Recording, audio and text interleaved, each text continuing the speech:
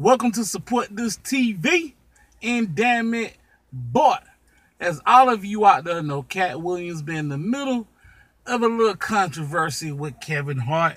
It ain't one famous paper cup boy out there. You wouldn't know the plastic cup boys if all of them walked in wearing plastic cups. So if I didn't put nobody on, I at least tried to put them on for one. And then he went at Kanye West.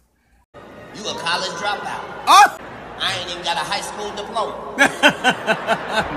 Fuck your ass up. Selling all them expensive ass, ugly ass, dirty ass looking.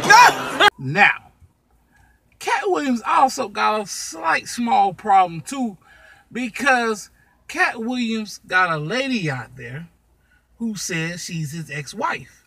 Now, everywhere you read this, it say alleged ex-wife. Meaning can't nobody find proof of him marrying this woman. And to make the story even more crazy and twisted, this woman want 2.5 million in monthly spousal support. If you are a millionaire, you are a baller, you getting paper, you got a great job. If you with a woman, you make more money than her, or she don't work, chances are you paying spousal support. Them are the norms. But this woman says she want 2.5. Who the hell she thinks she married? Michael Jordan? You ain't married no Katt Williams want no 2.5 million a month. Now 2.5 million dollars a year is a lot of motherfucking money. A month? Well, I mean, is you crazy? And I think she might be a little loco. Her name Ebony Gray. Now, reports are saying that he ain't had no relationship with this woman. So this woman fabricating this whole thing, could somebody be that messed up in the head that they are fabricating a marriage?